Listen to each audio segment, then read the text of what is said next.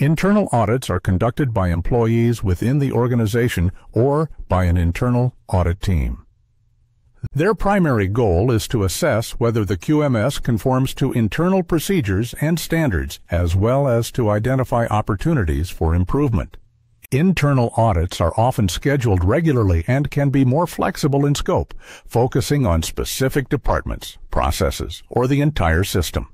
Because auditors are part of the organization, they have a deeper understanding of its operations, but must remain objective and impartial during the audit process. External audits, on the other hand, are performed by independent parties outside the organization, such as certification bodies, regulatory agencies, or customers.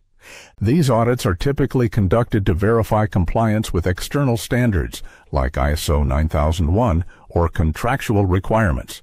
External audits are generally more formal and structured, with findings that may impact certification status, regulatory approval, or business relationships.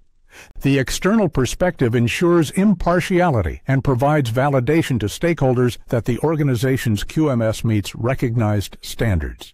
In summary, internal audits focus on self-assessment and continuous improvement within the organization, while external audits provide independent verification of compliance and build trust with external stakeholders.